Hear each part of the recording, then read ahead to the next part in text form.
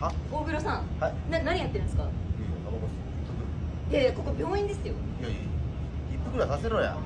暇ないいやダメダメダメダメ。先生に怒られちゃうから。なんでおい俺買ったからちょこれ本当にどうす捨てときます。るなダメで捨てたら。おいおいおい。看護師の独り言がやばい。10時になったらバランスまた点滴出てない計算して手始めぐらい出しとい10時に先タイム生指示があるからうん。あれと昨日プラス2キロだったから今日何時になってるかあと11時になったら大体この出しがある先生から誰？えっと忘れ。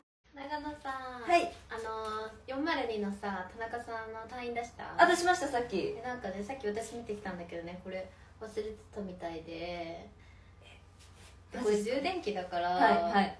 お家届けなきゃいけないじゃん。はい。でさ市長さんには一応言っとかないといけないから報告して、はい。で患者さんに電話してどうするかちょっと決めてもらおう。はい